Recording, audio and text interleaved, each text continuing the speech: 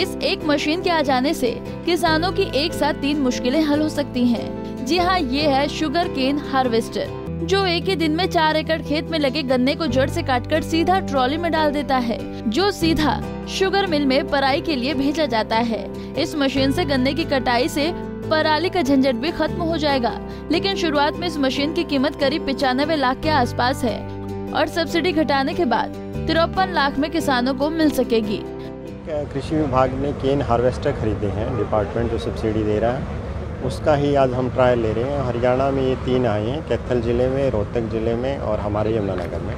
Shaktimaan company है जो इसको सप्लाई कर रही है। उसी का ट्रायल आज हम यहाँ रोड छप्पर गाँव में रण सिंह जी हमारे फार्मर हैं, बहुत प्रोग्रेसिव फार्मर उनके खेत पे कर रहे हैं। फ़ायदा ये है कि जो आजकल लेबर की समस्या आ रही है मेनली गन्ने को लेके, छिलाई के रेट काफ़ी चले गए हैं।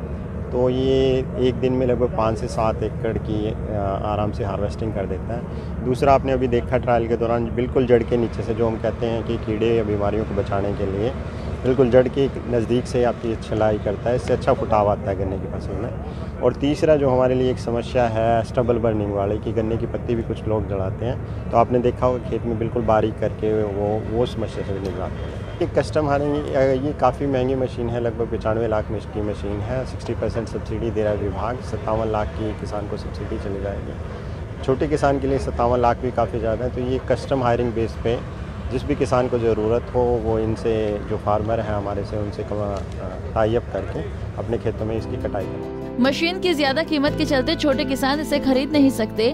लिहाजा विभाग किराए पर मशीन देने के लिए योजना बना रहा है।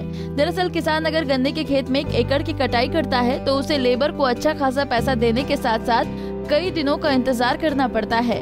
लेकिन कृषि विभाग ने आज यमुनानगर के गाँव रोड छप्पर में हार्वेस्टर का ट्रायल किसानों के बीच में किया और दिखाया कि कैसे हार्वेस्टर मशीन गन्ने को चंद ही मिनटों में काटने के बाद उसे सीधा ट्रॉली में लोड कर देता है। क्या है, हमारे यहाँ पे ना लेबर की प्रॉब्लम आ रही है और लेबर करके जो ये मशीनरी लेके आए हैं, हम किसानों को प्रोत्साहित कर रहे हैं कि हम गन्ना चार से पाँच फुट पे ले। चार से पाँच फुट पे गन्ना लेने से क्या है, हमारे गन्ने की जो है एवरेज बढ़ेगी। सपोज़ को अगर हम 400 कुंटल आज एकड़ में से निकालते हैं, जिस खेत में आज हम खड़े हैं, इसने चार फुट से 700 कुंटल निकाला है।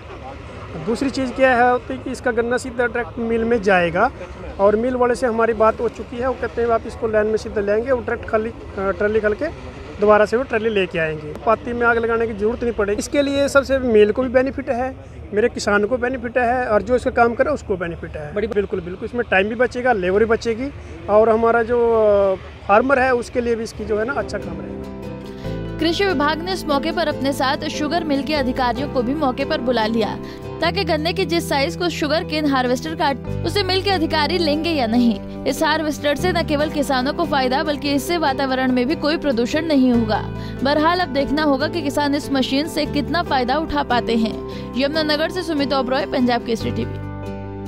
हमसे जुड़े रहने के लिए हमारे YouTube चैनल को सब्सक्राइब करें और नई वीडियो की नोटिफिकेशन के लिए बेल आइकॉन को दबाएँ। अगर आप ये वीडियो Facebook पर देख रहे हैं तो लाइक ज़रूर करें और ज़्यादा से ज़्यादा शेयर करें धन्यवाद